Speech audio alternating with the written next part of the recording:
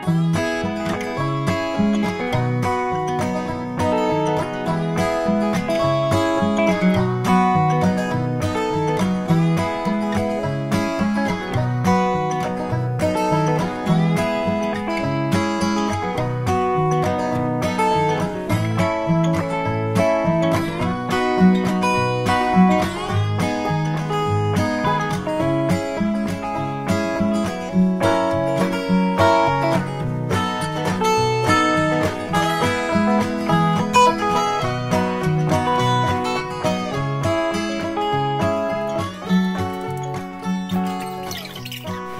studiere Produktentwicklung Mechatronik. Maschinenbau an der Fachhochschule Bielefeld.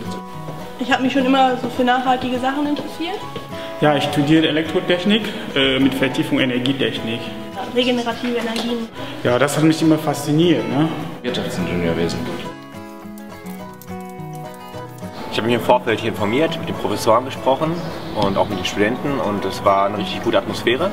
Ähm, Und es hat sich auch so bestätigt. Im Studium sind die Professoren sehr offen. Wir können jederzeit hin und Fragen stellen und das war sehr angenehm. Das ist eine schöne Verkehrsanbindung und Bielefeld ist eine schöne Stadt.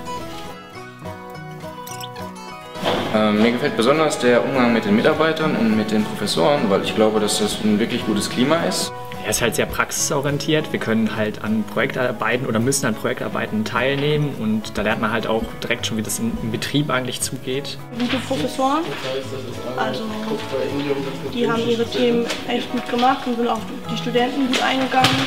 Dass es jetzt hier nicht so ein großer Studiengang ist, ist schön, dass man dann so ein bisschen mehr seine Kommilitonen kennt, als wenn da jetzt 100 oder so sitzen.